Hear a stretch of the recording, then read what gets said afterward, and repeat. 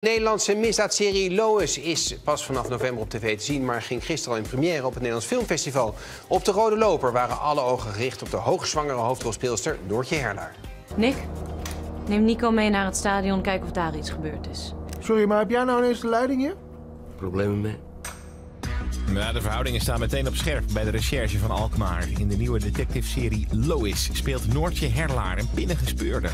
Lois gaat over een uh, rechercheur, Lois Elsinga, die hele heftige, duistere misdaadzaken moet oplossen.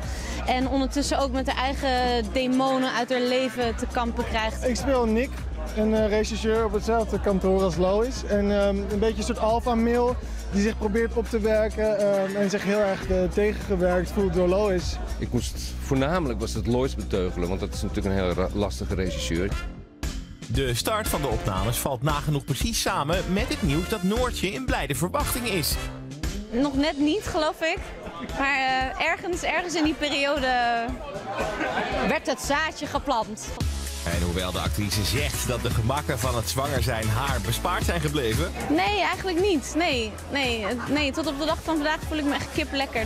Ervaren haar collega's dat toch een beetje anders? Ze trok zich uh, bij tijd en weinig gewoon terug, moe, uh, op zichzelf. Geen koffie en uh, de broek die iets te strak ging zitten met de week.